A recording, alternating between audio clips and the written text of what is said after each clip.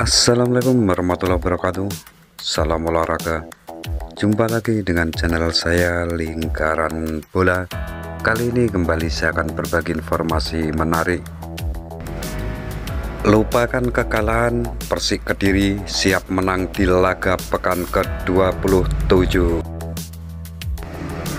Persik Kediri akan menghadapi tim juru kunci pada pekan ke-27 kompetisi BRI Liga 1 2021-2022 mereka akan melawan Persiraja Banda Aceh di Stadion I Gusti Ngurah Rai dan Pasar Bali Rabu 23 Februari 2022 pukul 18.15 WIB Sekuat Macan Putih sendiri telah melupakan kekalahan pekan lalu dan siap meraih poin penuh di pertandingan ini mereka tidak ingin kehilangan poin lagi untuk mengamankan posisi di papan klasemen.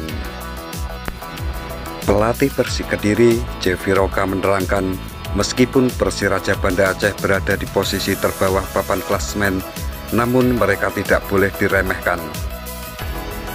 Tim berjuluk Laskar Rencong ini kerap tampil membawa kejutan, salah satunya dengan mengalahkan Persija Jakarta dengan skor 1-0 di pekan 22 yang lalu. Selain itu, mereka juga berhasil menahan imbang Arema FC di pekan ke-24. Untuk itu, kita selalu mewaspadainya. Lawan tidak boleh kita anggap remeh, ungkap Roka. Pelatih asal Chili ini menyebut setiap laga merupakan pertandingan berat yang harus dimenangkan. Pemain harus bekerja ekstra keras di setiap pertandingan melawan tim mana pun. Saat ini Persik Kediri diketahui sedang duduk di peringkat 11 dengan 30 poin dari 26 pertandingan. Sedangkan Persiraja Banda Aceh berada di dasar klasmen, yakni berada di posisi 18 dengan 12 poin. Kita tidak boleh meremehkan lawan mereka juga tim yang bagus dan tentunya berbeda dari putaran pertama, ungkapnya. Roka pun yakin untuk pertandingan nanti Persik Kediri bisa meraup 3 poin.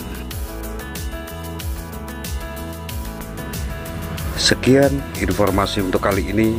Jangan lupa untuk tekan tombol like, comment, and subscribe biar saya terus bisa memberikan informasi terbaru seputar Persik Kediri. Sekian, Assalamualaikum warahmatullahi wabarakatuh.